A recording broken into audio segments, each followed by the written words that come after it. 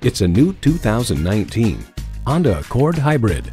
Honda's flagship car isn't just a vehicle, it's a legacy. And as a hybrid, the legacy includes a cleaner planet. Features include streaming audio, power heated mirrors, front heated leather bucket seats, auto dimming rearview mirror, doors and push button start proximity key, dual zone climate control, continuously variable automatic transmission, power sliding and tilting sunroof, gas pressurized shocks, and inline four cylinder engine.